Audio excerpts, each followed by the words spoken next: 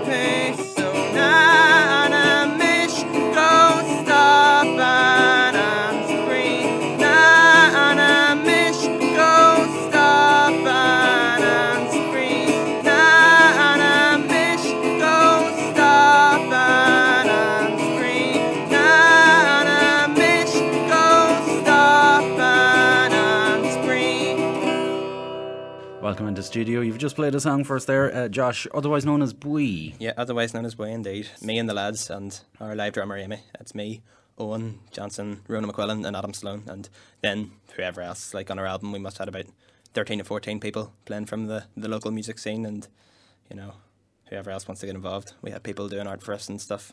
You know, so we tried to get as many people involved as we could.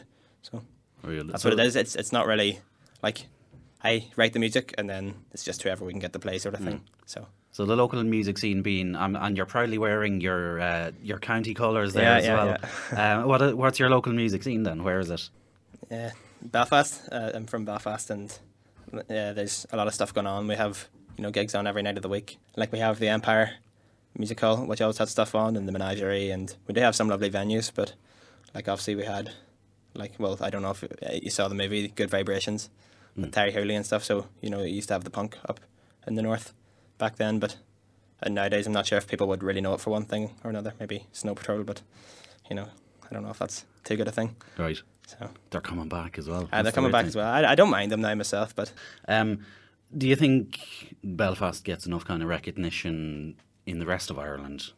Just uh, in general, Yeah, I mean, is it is it hard for you to get kind of noticed as a Belfast musician in Dublin or Galway? uh, or, it's it's hard. It can be hard for people to put you on doing gigs and stuff. But then again, like we sort of released an album before we had any fans, so I think if people look at our Facebook page, they'll probably think, you know, well, these things don't seem to have a lot going on in that. But it is what it is. You know, you can't really do much about it. Like uh, we we did play a gig in Dublin, but didn't didn't have too good a turnout. But now we've got people in Cork and Limerick and well, hopefully we'll, I'll, I'll be back down in Galway with the band again soon.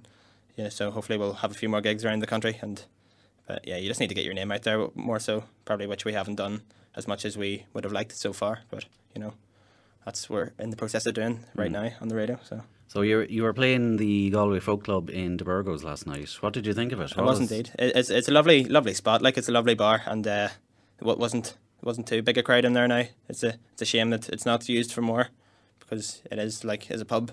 You know, it, it looks like something in Bruges or something. You know, it's like I don't know if there's any relation to the name, which is slightly similar. But uh, yeah, it's it's a lovely wee like cellar pub and everything, and it's a type of place I'm sure you know people would love to go to, and uh, just get the name of the the folk music nights out there a bit more, and more people turn up.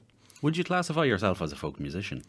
Uh, not really, but then again, the album has been released with music from four years or so of, of work. So like, and it was never recorded, or never never it was recorded, you know, all at the same time, but it was never written to be all in the one place at the one time. So it was like, uh, you know, some of it would have been folk, some of it would have been like sort of punk, just depending. But it was sort of just threw them together as a sort of mix. To answer that question fully, no, I probably wouldn't say I'm a folk musician, but I do like playing sort of folky style music and playing our songs in a bit more of a folky way. So, like you, you mentioned the album, uh, Eugene. Eugene, yep. Um, where does the name come from? It's uh, my cousin who was sick last year, essentially, just like uh, with a problem with drugs, and uh, he was in hospital.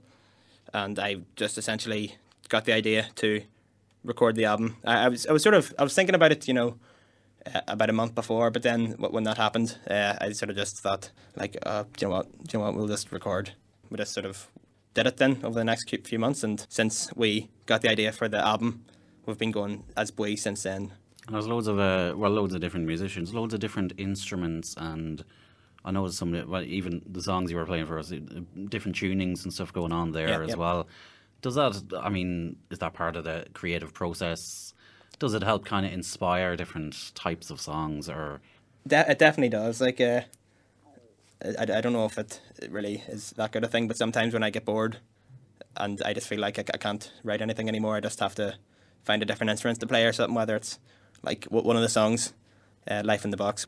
For that song, like, uh, I worked it about two years ago and I just wanted to write something simple, but I, I couldn't come up with anything that didn't sound just like, you know, if you're just using two chords, really, you can, can't really think of something that doesn't sound like every other song that has two chords.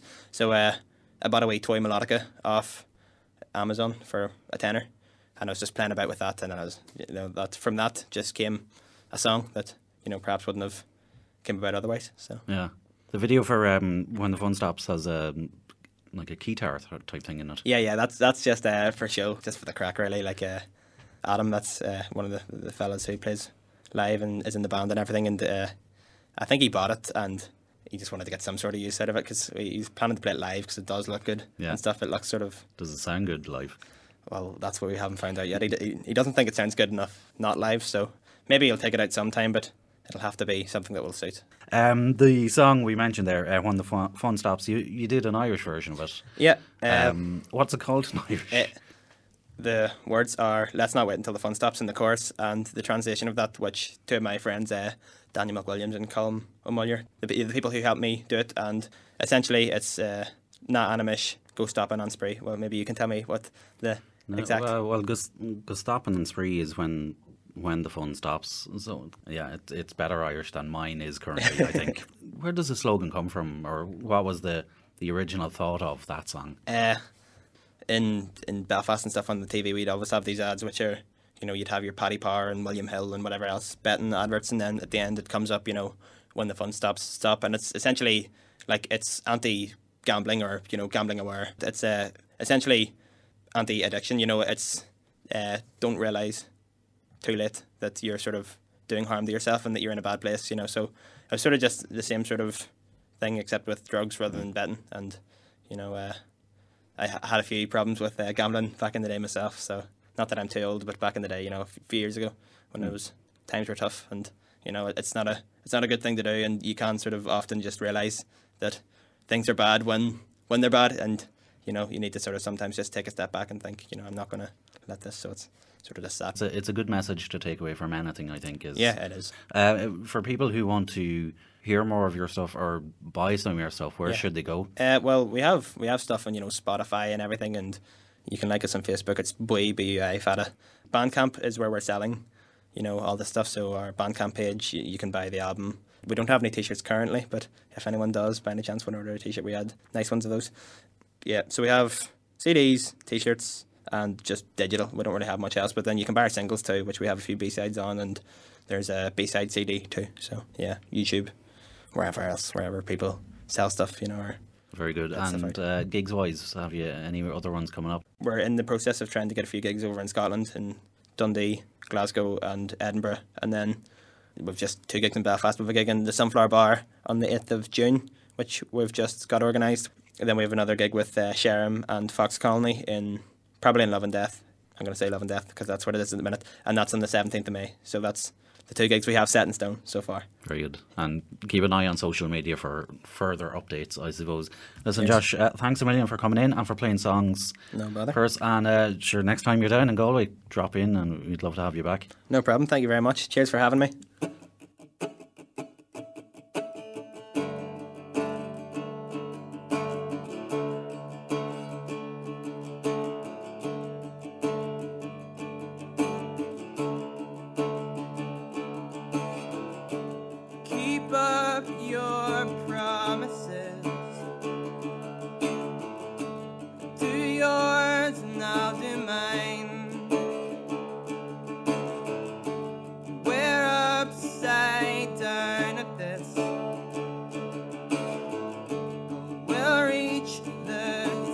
up.